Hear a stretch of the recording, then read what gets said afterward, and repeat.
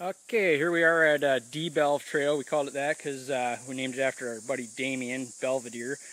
Um, it's uh, kind of goes down the spine of one of the uh, hills here in Short Hills Provincial Park, and uh, it's about as fast as we get going through here. So uh, me and Danny Boy here are gonna launch down it. I'm gonna film him while he's going, and uh, hope we don't wipe out, or you're gonna have a good video. So here we go. You're all set there, Dan? All right, let's go. Hold on, man.